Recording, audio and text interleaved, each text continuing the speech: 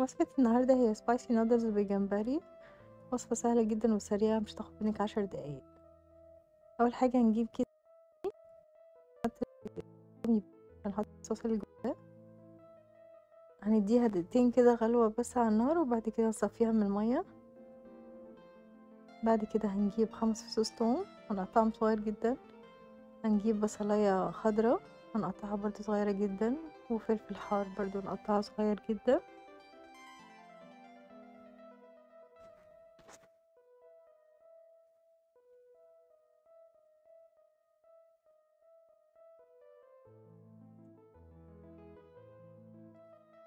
بعد كده في طاسة سخنة محمية مسبقا. هنحط معلقتين كبار زيت هنضيف عليهم الثوم وبعد كده هنضيف البصل بعد كده هنضيف الفلفل الحار.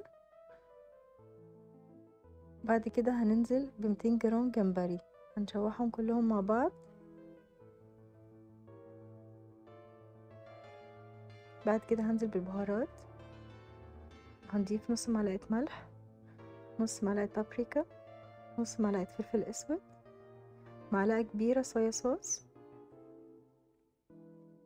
ونص معلقة سكر. بعد كده هنزل بالنودلز اللي إحنا سلقناه هنقلبها تقليبة كده سريعة ونسيبها خمس دقايق على نار هادية. وألف هنا وشفا عليكم.